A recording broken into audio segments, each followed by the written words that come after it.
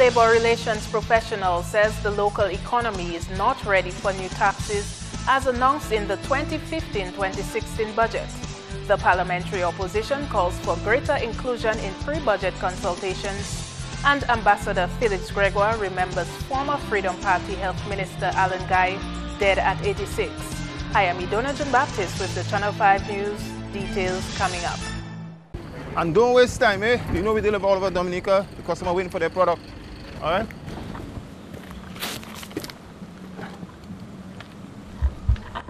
Delivery from Muslim store. Anybody home? Whether you rent or you have your own home, the Muslim store is the place to get what you need. We deliver.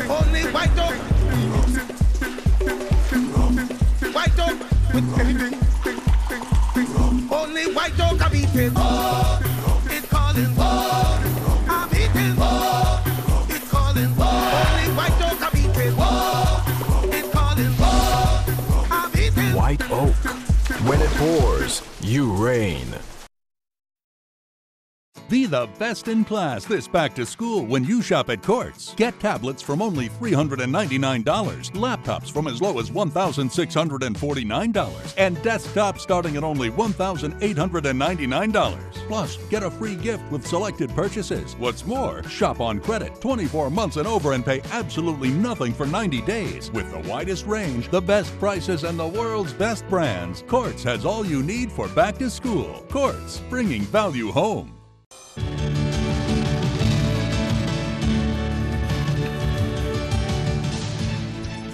Welcome back. We begin with the economy, where a professional in labor relations says he disapproves of new taxes on goods introduced in the recently passed national budget, since according to him, the local economy has not totally recovered from the 2008 financial crisis. Taxes in the 2015-2016 national budget include a 10% excise tax on alcohol, cigarettes, and food and drinks with high sugar content like soft drinks and chocolate. The import duties on chicken and meat will also increase, ranging from 5, 10, and 20%, with the exception of chicken backs and necks and chicken wings. These duties will take effect on September 1st. I heard the Prime Minister make reference to the reintroduction of excise duties and VAT on certain items that was zero rated somewhere around 2008. The private sector was very much involved in, in dialoguing with the government for the reduction of the duties back then because globally food prices had hit the roof. Now what we see is uh, we're going back to the 2008 uh, system of VAT and tax. And I understand where the government is coming from because they gave up that revenue for about, what, seven years right now. But I don't believe the economy has rebounded uh, to a pre-2008 period where we can, we can either pass on or absorb the levies or the taxes.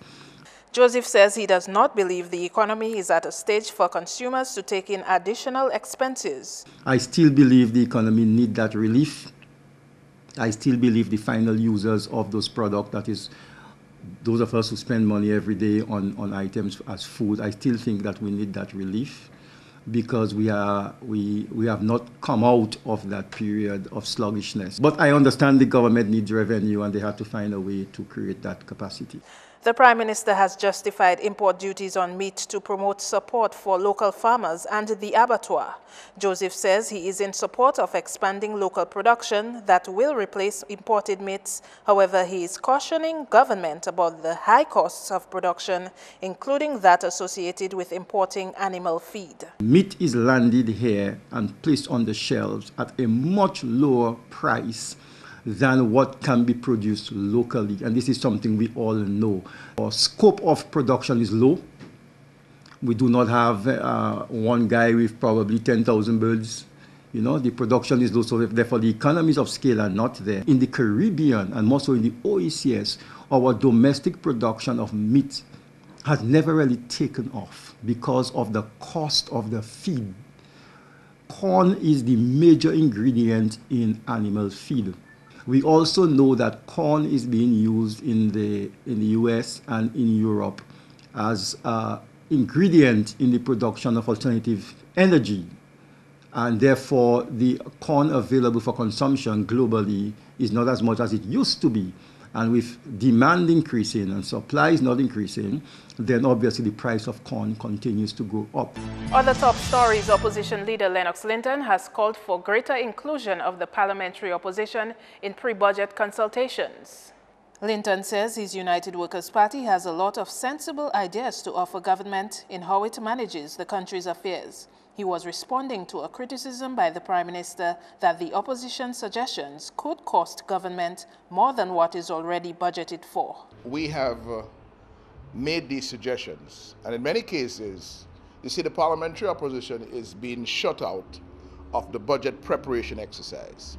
The Prime Minister can go to musicians, he can speak to hoteliers, he can speak to business people.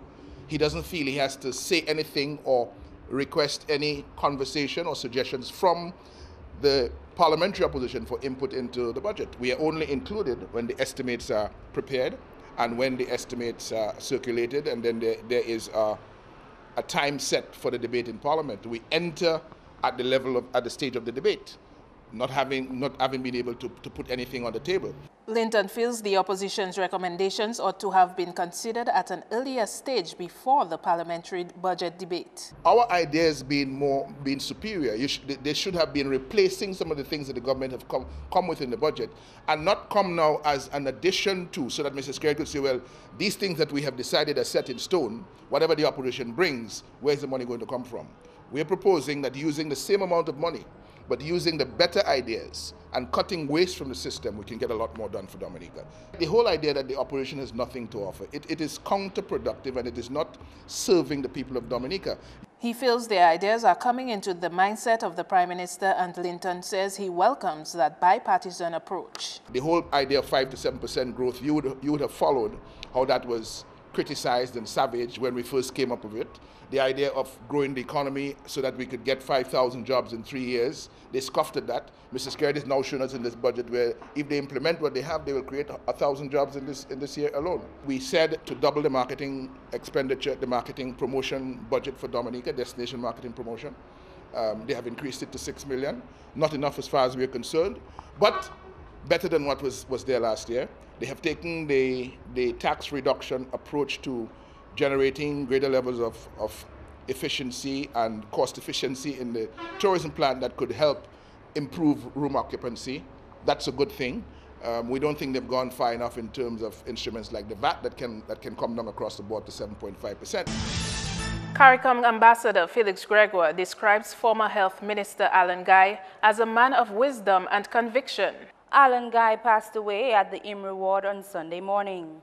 He was the former parliamentary representative for the Roseau North constituency following the 1985 general elections.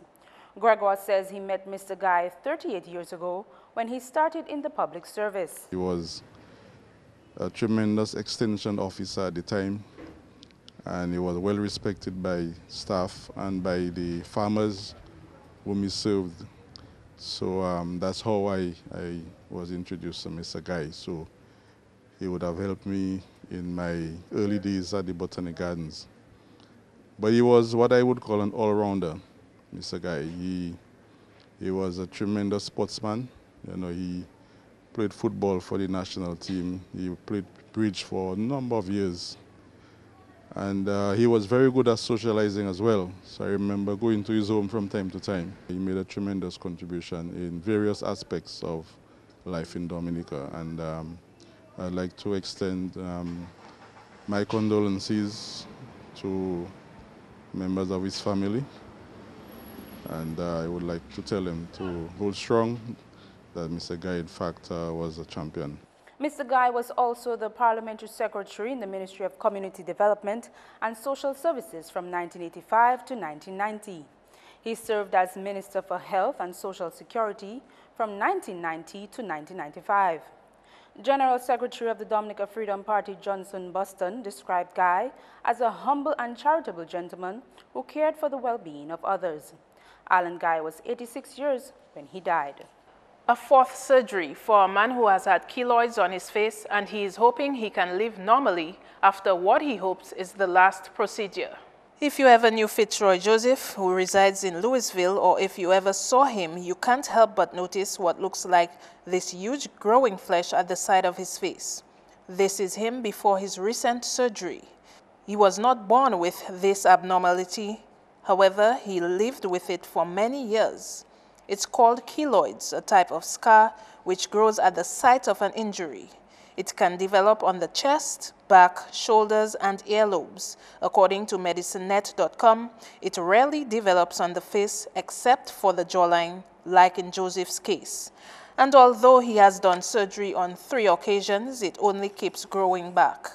He recently had it cut again on the United States Navy hospital ship during the health mission here. Um, I had done it three times already. The problem I had um, doing that three times was the follow-up. The follow-up is like, it's more expensive than even the operation itself. And now I decide to do whatever it takes to make sure that it did come back. It grew back because of the, as I tell you, the medication. The medication is like it's even more expensive than the operation itself. How do you plan to get by um, in terms of the follow up now? Well, um, I have a doctor. I have a doctor that's going to be doing the follow up. That's Dr. Christian.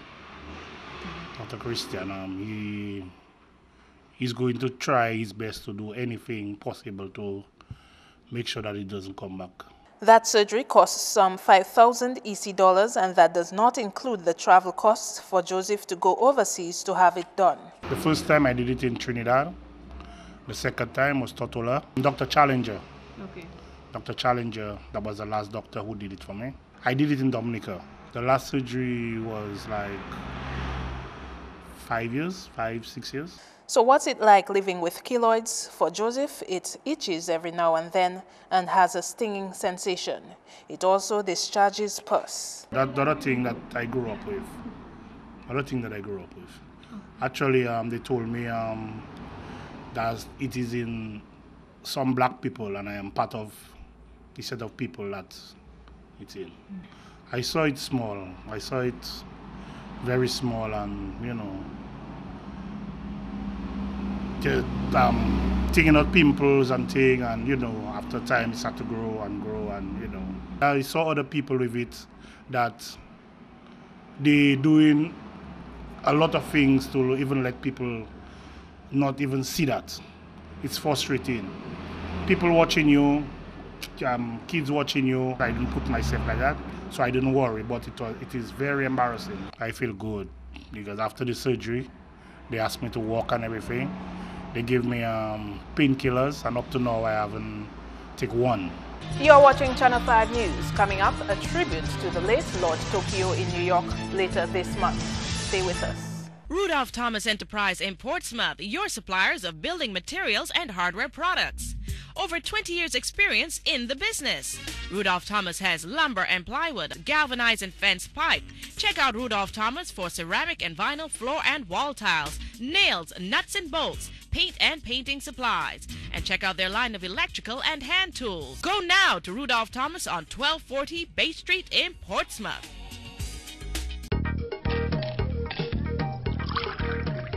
If you love that sound, then pour yourself a Glen Hunter Scotch whiskey and enjoy the taste on the rocks or mix with your favorite beverage. And because Glen Hunter is priced right, you'll be able to double your pleasure long after the people who don't drink Glen Hunter have to go home with empty pockets and empty handed. Glen Hunter, a revolution in Scotch whiskey.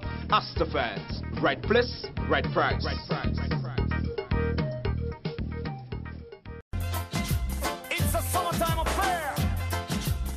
2015 is blazing hot, and Marpin 2K4 just made it hotter with special deals on our internet service. Sign in for PingNet between July 27th and September 4th to surf with us and get half off installation and half off your modem. Pay your outstanding balance and get reconnected for free and get half off your first monthly bill. Get even more when you sign up this summer during our PingNet promotion as Marpin 2K4 will give some lucky customers an extra reason to smile with our giveaways. Come visit us at our Roseau location to get on board our fast and reliable service. It's time to serve. It was great last year, and we're doing it even bigger this year. Clothing designers, this is a call for you. It's your chance to win $2,500 in cash in the Courts Fashionista Fashion Competition. All you have to do is design a piece of clothing inspired by one of our fashionable pieces of furniture for your chance to win. Participants will then be selected based on design submission and proceed to take part in the biggest fashion competition to showcase their creation. Furniture selection must be made from our newest furniture brochure, so pick one up at a Courts store quickly. Courts Fashionista Fashion Competition. Bigger and better than before. So sign up if you dare. Deadline to submit registration forms and designs is August 14. Courts, bringing value home.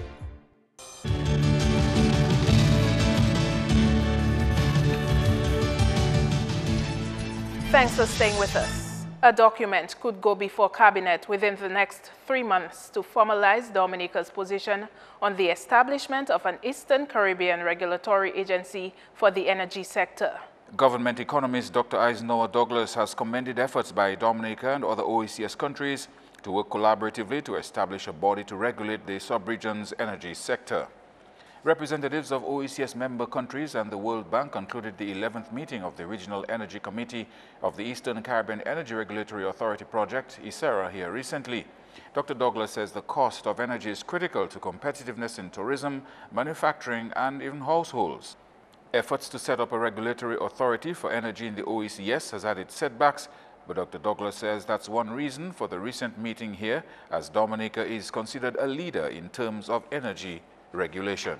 When the whole process started to evolve in 2008 with World Bank funding, they were thinking of uh, Eastern Caribbean Regulatory Authority at that time. Now we're thinking about an Eastern Caribbean Regulatory Agency. So there's a fundamental difference over, that has evolved to where we are now. But the principle of collaboration and cooperation in the field of energy regulation is still very relevant and topical. So that has remained, but the, the, the how it is operating in practice is still being, being worked out. And as I mentioned before, even, even the, um, the appraisal of ECTEL, um, that would be, have to be a separate study so that we can take that into account before we actually give the final blessing, you know, as a government, as a sub-region, into what the ECERA model should look like going forward with respect to energy regulation. In the area of geothermal energy, Dominica has dug five wells, three exploratory and three production wells. A national abattoir is expected to take advantage of what has been described as a huge domestic market available for pork and poultry. Outlining government's plans for farming in Dominica in his budget presentation, Prime Minister Skerrit revealed that the abattoir would be commissioned before year end. He says this is government's plan to make Dominica self-sufficient in pork and poultry production. This objective is being pursued through two major initiatives. One being the construction of a national abattoir, and the other is to provide financing to existing and potential farmers through the Agricultural Investment Unit the AIU. We are aware that a number of poultry farmers have, been, have upgraded their farms in anticipation of the opening of the abattoir. We can now assure them that the contractor has confirmed that the abattoir will be commissioned and handed over by the end of September of this year. Mr. Skerrit says so far 45 farmers have received financing to establish or upgrade their farms through the Agriculture Investment Unit. The production strategy being pursued aims in the first year at increasing the annual output of saleable meat from 186 pounds to 915,200 pounds, Madam Speaker. This represents just 12% of the total import of poultry in 2012, which was 77.4 million pounds. The livestock unit has estimated that 200 birds required to achieve the output we targeting in the first instance. The Prime Minister says a survey conducted earlier in the year has identified 44 farmers fit for pig farming. The unit has estimated that the local demand for pork is approximately 1.1 million pounds annually. Approximately 50% of this demand is being produced locally. The strategy being pursued, therefore, is to double local production in order to satisfy fully the estimated market requirement. The existing 44 farmers will form the core for doubling the output of pork. Mr. Skerrit outlined some programs that would be introduced to successfully execute this process. Training to improve husbandry, improving the gene stock, intensifying the feeding regime, and upgrading the pens where necessary. Former Dominican Calypso monarchs will pay tribute to the late Lord Tokyo at an entertainment event in New York on August 22nd. The King of Kings Calypso extravaganza being hosted after a two-year absence aims to highlight Dominica's Calypso culture. Director of Tourism Colin Piper says the show is a good promotion tool for the country. We embrace the potential this event has to increase visitor arrivals because it is a unique opportunity to get a visual of the nature island and our culture through our music.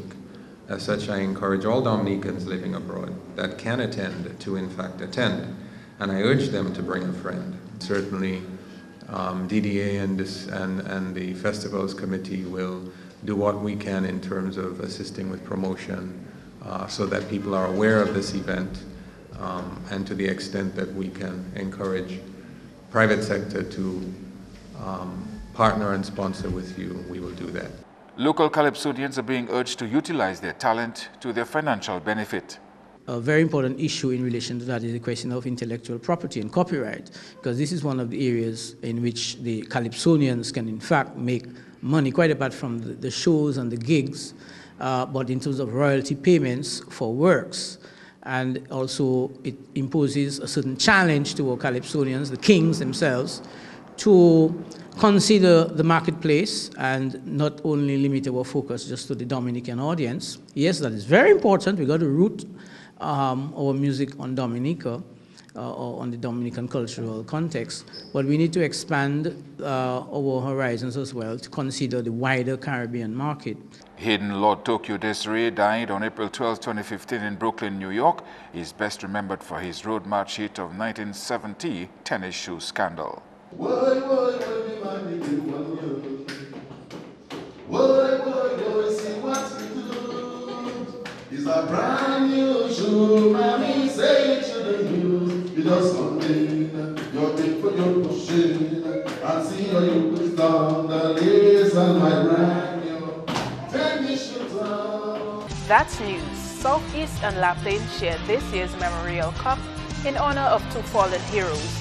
That and more in your sports highlights next.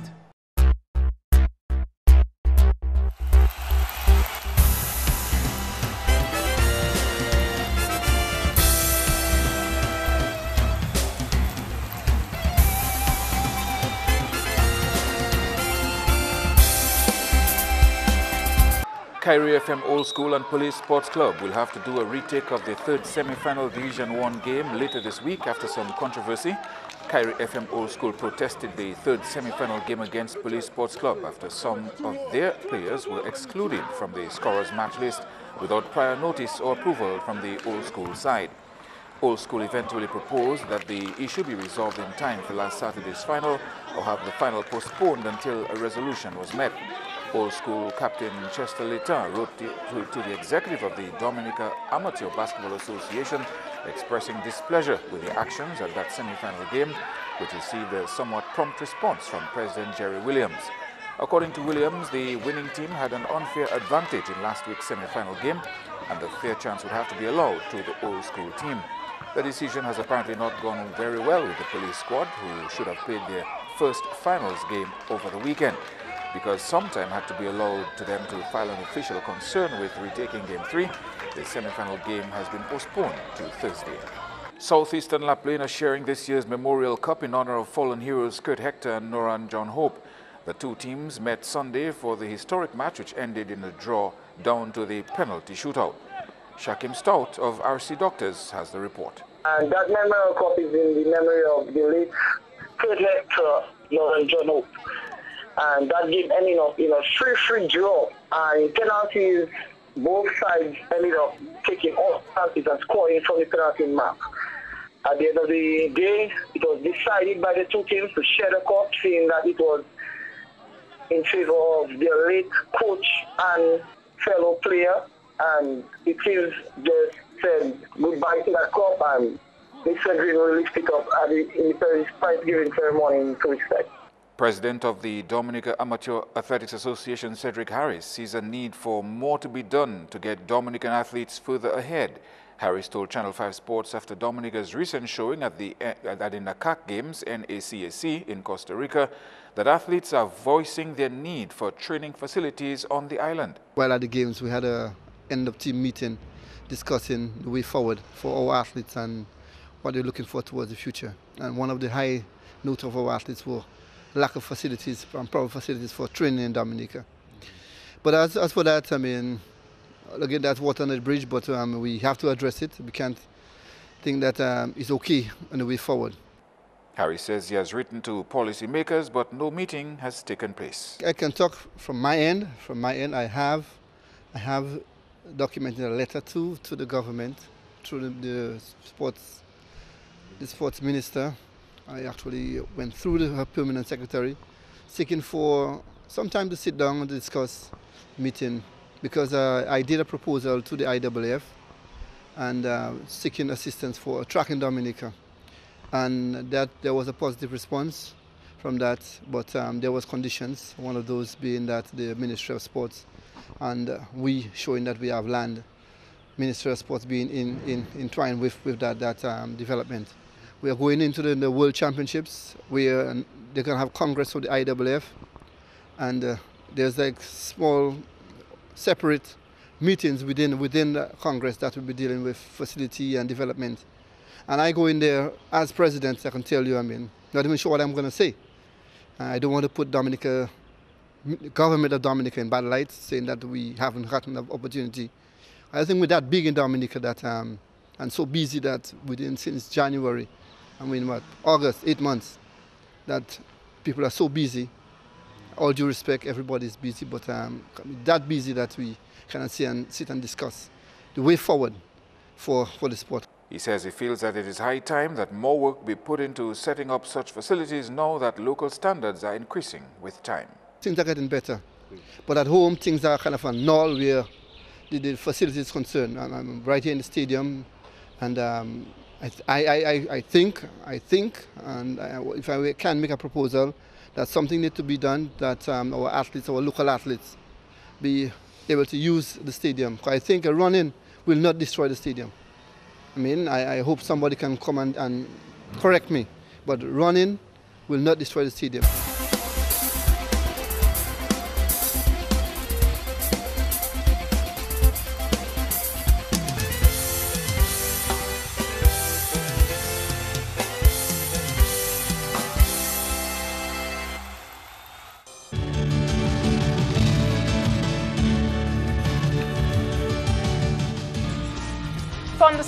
Activity expected in the next 24 hours. More in your weather report next. The weather is brought to you by Sagicor, wise financial thinking for life. Good evening, viewers, and welcome to tonight's weather broadcast. I am your presenter, Vernie Master Honoré. Yet another disturbance has invaded the island today as a satellite imagery showed convection associated with a tropical wave which moved across the southern portion of the island chain today. Meanwhile, lovely weather, fair to partly skies were observed across Dominica. Radar imagery indicated shower and thunderstorm activity across the southern windwards, depriving the island of some much-needed rainfall. Tonight's weather is expected to be partly cloudy to cloudy with some scattered showers. And tomorrow, fair to partly cloudy skies with some scattered showers can be expected. Sea conditions tomorrow, moderate in open water, with waves expected to pick up to 7 feet. And looking ahead, occasional cloudy skies with some scattered showers and warm temperatures can be expected into Friday. And across the Lesser Antilles tomorrow, occasional cloudy skies with scattered showers can be expected across the chain. And on the international scene, Clear skies can be expected in New York and Beijing. Thunderstorm activity in Miami and Caracas. Overcast skies and pretty warm temperatures in London. The sun will rise tomorrow at 5.50 a.m. and will set at 6.31 p.m. For further information, visit our website at weather.gov.dm or call the weather hotline at 447-5555. Thank you for joining us this evening. Have a good night.